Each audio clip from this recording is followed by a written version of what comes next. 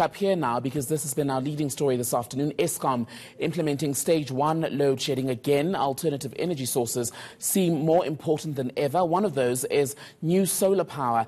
A new solar power station, that is the Kathu Solar Park.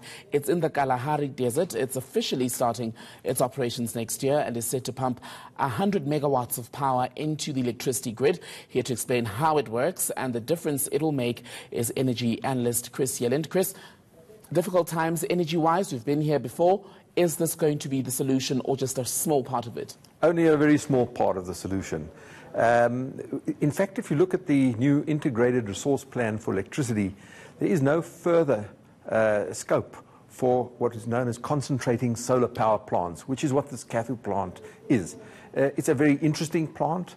Uh, it has a certain amount of energy storage, which means it can dispatch electricity even after the sun is set for a, a period of four and a half hours, which makes it very useful for meeting the evening peak. But unfortunately, uh, concentrating solar plants are very expensive. What can we do with 100 megawatts in practical terms? Well, look, uh, 100 megawatts is the size of a reasonably sized small town. Uh, just to give you some sort of scale, uh, a city of Johannesburg is about 2,000 megawatts, and this is about 200 megawatts, so about one tenth the size of Johannesburg. Uh, it's useful because it can dispatch electricity during the day while the sun is shining, as well as if the sun goes behind a cloud, if there's bad weather, or in the evening uh, uh, to cater for that evening peak. Because in a domestic uh, environment, electricity is used mainly in the evening peak uh, when people come home from work and make supper uh, and, and, heat water, etc. Let's speak about the environmental benefits mm. because one cannot have a discussion about solar energy and not speak about how it will help with this Kathu solar park. It will, I understand, cut carbon dioxide output by up to 6 million tons over a 20 year period. Yes.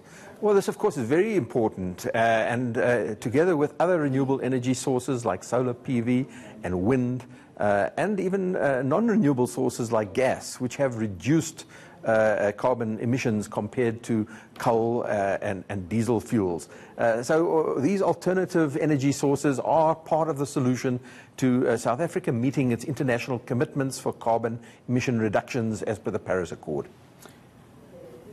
Very quickly, how do we make solar energy more accessible to the majority of South Africans? In the end, it's going to be all about the economics. And that's the really interesting thing, uh, is that the, uh, the, the, as time goes by, the cost of renewable energy is dropping significantly.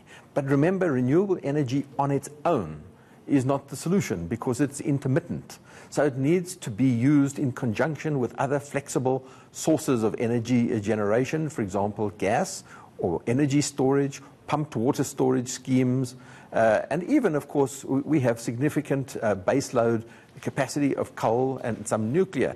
Uh, so it's not a case of all renewables.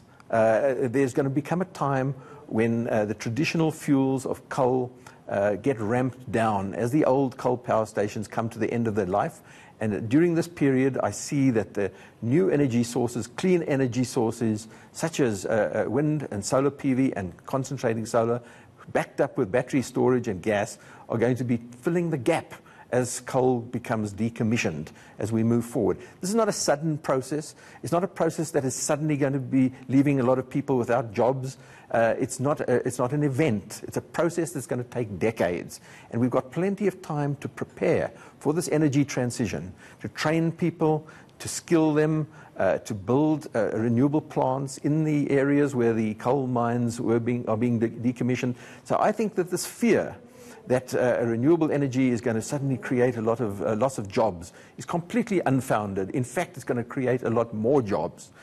Trouble is, of course, it's going to be perhaps in different geographic areas, and it's going to be different skill sets. But that's what the energy transition is all about. And as I say, we've got plenty of time to plan for this energy transition and to implement it. Chris Yelland, energy expert with EE Publishers. Always a pleasure speaking to you. Thank you.